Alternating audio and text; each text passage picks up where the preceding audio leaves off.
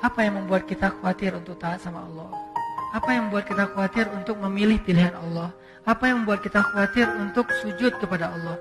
Apa yang membuat kita khawatir untuk melangkahkan kaki ke rumah Allah? Apa yang membuat kita khawatir untuk menyebut nama Allah?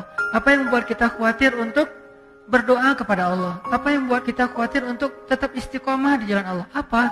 Takut ditinggalin sama Allah? Dulu dosa aja nggak ditinggalin, apalagi sekarang berpahala. Dulu maksiat aja Allah nggak ninggalin, apalagi sekarang taat. Terus apa masalah kita? Bukti Allah nggak ninggalin kita sampai sekarang kita masih hidup. Sampai sekarang kita masih sehat. Sampai sekarang kita masih punya keluarga. Sampai sekarang kita dikasih hidayah lagi tuh. Berarti ma wadda'aka rabbuka wa ma qala. Rabbmu nggak pernah ninggalin kamu. Apa pun dosa kita, jangan putus asa hambaku. Minta ampun kata Allah. Minta ampun di sini.